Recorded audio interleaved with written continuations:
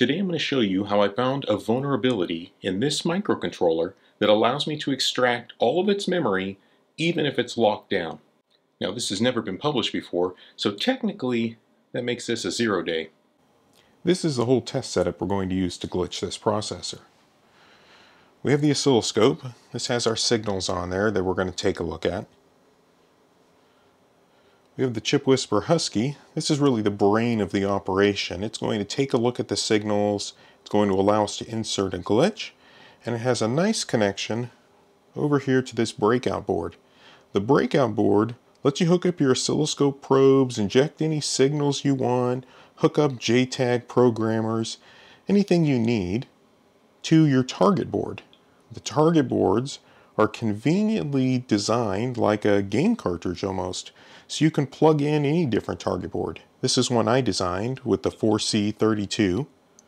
This is a SAM4S board. It actually comes with the Chip Whisperer Husky when you buy this kit. And then we have the smart meter from the last video. This one has the Atmel SAM processor on it, the ARM chip. I've removed it from there and put it onto the test board. This will go in here and is how we'll extract the firmware. This is a blank one that I bought and built a separate board so I could put some test firmware on it first. Once a attack is perfected, then I'll use this chip. Now all of this goes over to the computer here where we're running a Jupyter notebook and we can receive these signal traces from the chip whisperer and analyze them, dive in deeper and find a point to glitch. Okay, so let's go over some terms and tools. First, oscilloscope. It's a very simple tool it measures voltage against time. The y-axis is the change in the voltage, and the x-axis is the time. It plots it on there. It's good for signal analysis, all kinds of things like that. Then we have glitching or fault injection.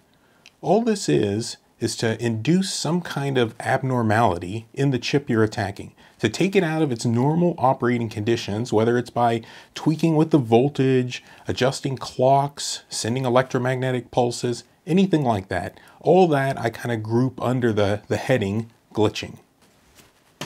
Now, zero day is just shorthand for a vulnerability that's been released in the wild zero days. Basically, it's unknown by the general public. Now, there's different ways to disclose vulnerabilities. There's full disclosure or responsible slash coordinated disclosure, I'll say. Responsible or coordinated disclosure is where you reach out to a manufacturer, you let them know what was going on with the bug, you explain a bunch of stuff, essentially you give them a bunch of free consulting to help them understand what the bug is, then possibly patch it, and then sometime in the future, when you've kind of both agreed on a date, you release it to the public. Full disclosure, on the other hand, is just dropping it to the public. That's what we're doing in this video. Now at its core, this vulnerability is quite simple. So if you see here, we have a few lines. Green is 3.3 volts to the processor. Yellow is the core voltage to the processor, 1.2 volts. And purple is the reset line.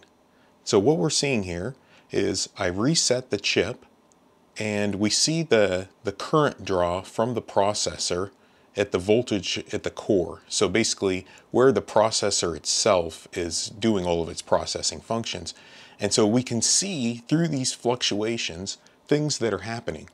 And the idea with voltage fault injection is where do you insert a fault? So where do you drop this voltage kind of drastically in order to cause the chip to do something that it shouldn't do, like allow you to read the memory. Now, this is when I just reset the chip. Let's look at when I power cycle the chip. Okay, so now we see something completely different. We see the 3.3 volt line drop, reset, the core voltage. Now we see all of them come up when power is applied to the chip. Everything's going just fine. And then we see this weird thing here. The chip seems to reset itself again. Why would it do that? Let's see what happens here. If we come over here, we can zoom in a little bit in this region. And we see similar fluctuations of the processor here, but we see this weird spike. And the chip's in reset. So when I saw this, it made me think, well, if the chip's in reset, why the heck is it doing anything? So I wonder if this is important. Now when you're getting started, the question is how do you find a place to attack? Like you can't just attack anywhere. And so what I did with this chip is pull up the data sheet. It's over a thousand pages long. And I scrolled and scrolled and scrolled through it, looking for things that might be interesting ways to attack it. Now this chip has a bootloader. When there's no code on the chip, this bootloader starts up. And once you program it, it's set to no longer start the bootloader and to jump into the code that you've loaded on it. So my initial attack was how can I insert a glitch right after reset so that instead of jumping to the code, it jumps to the bootloader. That's how I got to this on the oscilloscope and that capture that you saw on the computer. Here's me resetting the chip, and here's what the processor is doing after reset. So I tried inserting a glitch all throughout here. Now this window of time, if we look at it on the oscilloscope, we're set at 2 milliseconds per division. So 2, 4, 6, 8, about 9 milliseconds worth of time that I was going to try inserting a glitch. Now you insert it on the nanosecond scale, so there's a lot of places you could insert a glitch in here. And I tried for about two days, just bu -bu -bu slamming glitches through here, and I couldn't get it to start the bootloader. So being stuck, I went to Perplexity. I said, I'm working on a voltage glitch attack for the SAM4C32C microcontroller. I'm also trying to open, uh, I'm also open to glitching during an erase cycle to unlock part of it. So I basically said, hey, go do a research project for me. And so it went out and it gave an overview on security. It said, here's some key vulnerabilities, insecure power management, debug interface weakness. And then it came down here and it told me that there's a case study on the extraction of it. I was like, holy crap, somebody already did it. Um, and so a 2024 successful firmware extraction. So this is where sometimes uh, AI gets a little silly because this isn't actually the SAM4C. This is on the E70. Now anytime you're hacking a chip, it's important to consider other chips in the family. So I'll say the SAM is part of the, the SAM series of chips. That's just a guess, but that's what I'm going with. So I thought, okay, I'll read this paper, this write-up these guys did, 0x01 team, and see what they come up with. So they show the internal structure of the chip. They show setting the security bit. This is in the interface in their own microchip studio. They talk about where they're going to measure power. They show some reset timing. And then they show something interesting here. They say the blue trace is the trigger on the 3.3 volts and the red trace is the power of core voltage. And so immediately what struck me is not that there was these spikes here, but that they weren't resetting the chip, they were actually power cycling the chip. And normally, uh, you know, you wouldn't think, I guess there's a lot of difference between that, but it turns out there's a massive difference in these chips between just resetting and power cycling the chip. Okay, so this is our familiar reset. I'm just gonna zoom this back out some so we can see it. Let's power cycle it instead. And now what do we see? Well, we see what we saw before. We see the power cycle, but then we see this weird little thing. We also see this spike over here in the power line. So this spike looks a lot like the spikes they were showing in their document. So I reached out to the guys at 0x01 team and I said, hey, did you ever look at the reset line when you were doing this? Because I looked at this chip. I also looked at the SAM4S2A.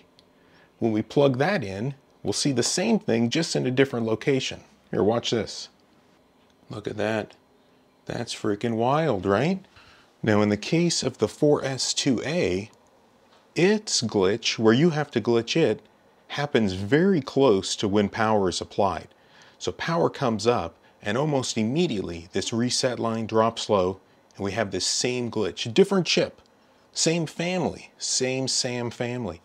So then that's when I reached out to the 0x01 team guys and I said, hey, did you ever look at the reset line when you did this, this glitch, when you saw it? And they were like, no, I sent them these pictures. And they sent me back this picture.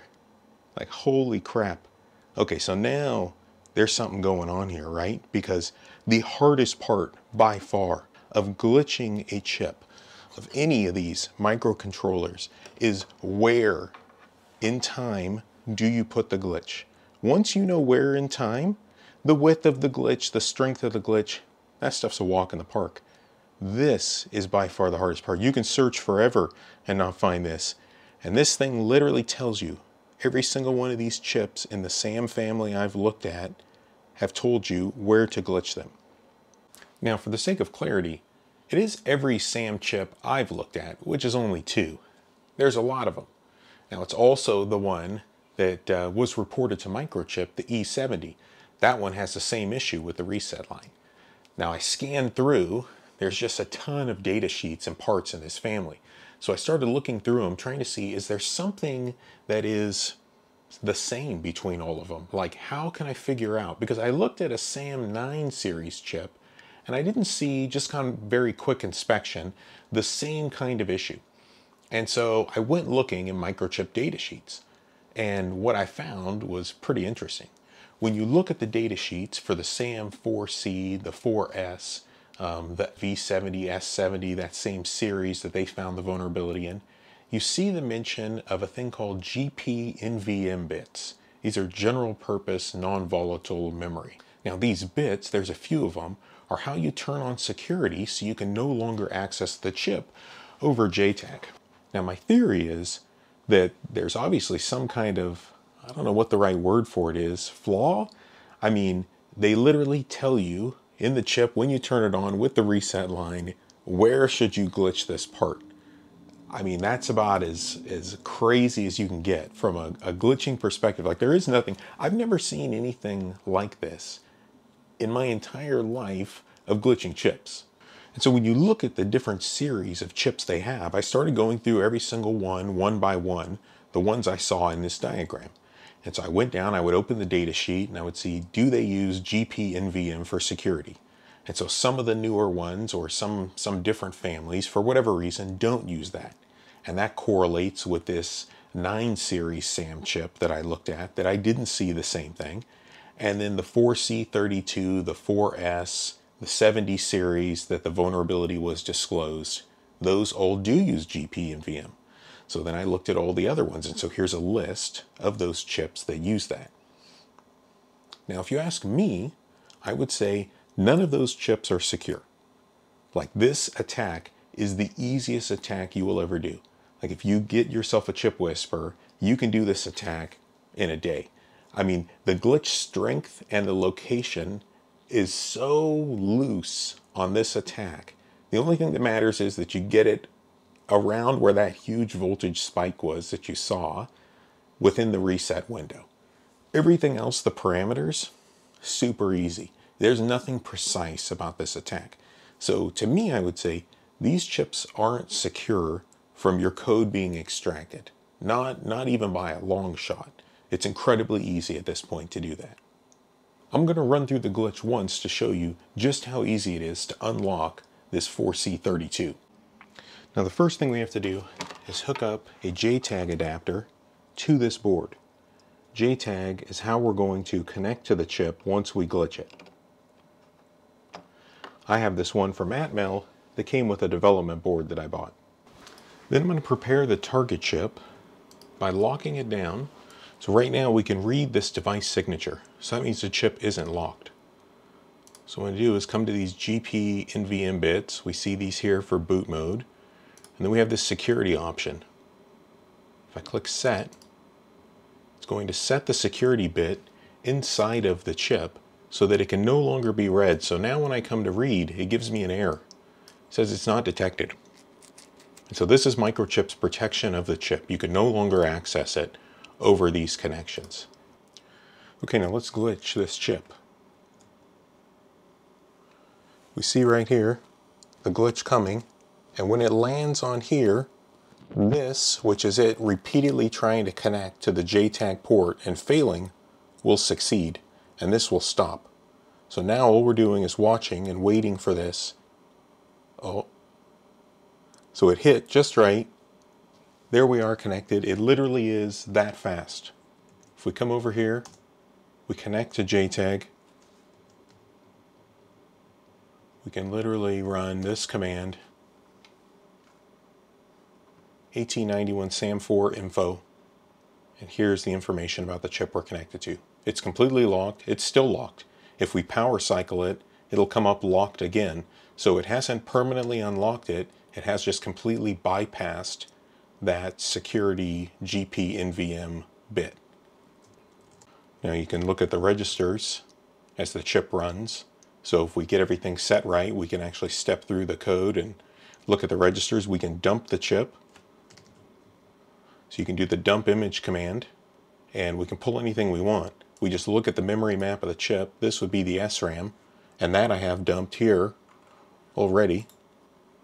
Here's the SRAM of the chip. So as it was running, just halted it and extracted the memory. And one thing I saw that was interesting in here is in SRAM is this diagnostic mode. So it's quite possible that the pin that sets this chip into diagnostic mode is set right now. And so it entered diagnostic mode and it's just sitting here waiting for us to enter a command. Now, of course, you can also extract the firmware, which is what I did here. And you can see some familiar things in here. Transmitter on for how many seconds. These are all the various strings that are in the firmware. So it literally is just that easy. Within this little window right here, if we slam a glitch, and the, the, the width of this, you see how strong it is, the parameters are almost like irrelevant. You just slam something in there it'll glitch it right past and allows you into JTAG. This is the same on the SAM 4S as well as the 4C, hitting it in this window where that little power fluctuation was. Now I have a few closing thoughts I want to leave you with. I said in the beginning of the video, technically this was a zero day. That's true. But it's really the same bug that 0x01 team found and disclosed to Microchip previously. Now when you go to Microchip's website and you scroll down and you look at that chip where the vulnerability was disclosed, there's no mention of that at all. There's nothing you can find on that site about that. And I wonder, what are your thoughts on that? Do you think a manufacturer should have to let a customer know that a vulnerability was found in the chip? Or is it up to the customer themselves to go and do the research and figure it out? Basically, does responsible disclosure go both ways? If security researchers are supposed to responsibly disclose to manufacturers and provide free consulting and explain everything that happened and not say anything to the public, what are the manufacturer's responsibilities when that's done? Now, if you enjoyed this video, consider becoming a Richessum Patreon. There's more in-depth content over there, and I'm posting new stuff all the time that shows really behind-the-scenes things and deeper technical stuff that you might be interested in that's a little too long for a YouTube video. Thanks for watching.